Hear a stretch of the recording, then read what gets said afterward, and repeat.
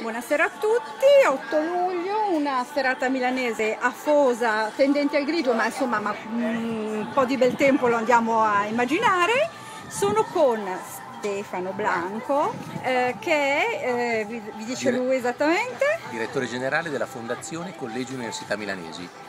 Che riunisce, mi stavi raccontando? Riunisce le sette università di Milano, una serie di enti pubblici, Ministero, Regione, Comune e una serie di aziende private che contribuiscono alla fondazione e ha come obiettivo il merito, mobilità sociale, internazionalizzare il sistema universitario e dà vita al Collegio di Milano. Ecco, posso dire una cosa? Mi piace Certo. moltissimo la prima parola che è stata fatta in elenco, quella del merito, che credo che sia una parola oggi che, che stiamo cercando tutti e Certo. particolarmente voglio dire ben si adatta alle, alle università milanesi. Assolutamente, il merito dovrebbe essere una In cima alla lista. chiave, in cima alla lista chi governa anche i processi di questo paese.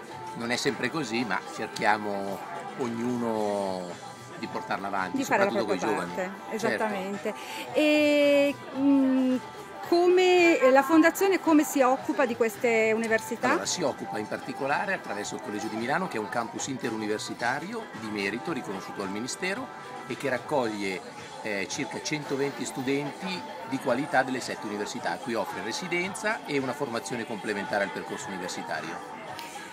Quindi con voi si può avere una, una sorta di appoggio, informazione rispetto a tutta la vita universitaria milanese, rispetto anche a tutti mh, i sistemi e le mh, Si può avere, possibilità certo, di... oltretutto si può avere una residenza, quindi si, può- si- si alloggia nel campus, si ha una formazione complementare, una serie di servizi, scambi internazionali, placement e tutorship e quindi serve proprio a dare delle opportunità a studenti motivati di talento e che magari non hanno i mezzi per poterlo fare da soli e noi li aiutiamo per far questo. Parliamo di un sistema universitario che fa molto pensare a quelli che sono i campus e i collegi anglosassoni. L'idea è questa. l'idea è proprio nasce dai campus anglosassoni, Da quanto esiste la fondazione? da circa un 8-9 anni.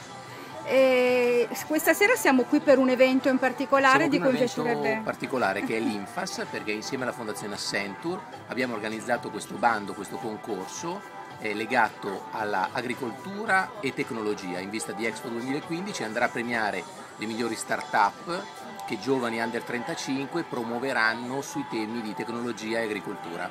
Quindi anche voi siete collegati al grande tema, al topic dell'alimentazione che è eh, quello che legherà di tutto il filo di Expo. Assolutamente. E anche voi state seguendo ovviamente le iniziative di Expo come, come- sì, come stiamo facendo tutti in questo Stipulato momento. da qualche anno un protocollo d'intesa con questa Expo 2015, quindi siamo da diversi anni dentro questo sistema. Da quanto è aperto il concorso? Il concorso è aperto da qualche mese e sarà aperto fino al 17 settembre. Perfetto, quindi eh, poi daremo tutti i link per, eh, per poter presentare www.idea360.it www.idea- www.idee, eh, ride- idea360.it che è dove possono trovare tutte le Esatto. informazioni relative al concorso. Perfetto, e anche fare l'application. Quante, mm, quanti progetti, quante avete già ricevuto? Ma eh, in questo momento il bando non si è ancora chiuso, sono comunque già più di decine, speriamo di arrivare a un centinaio.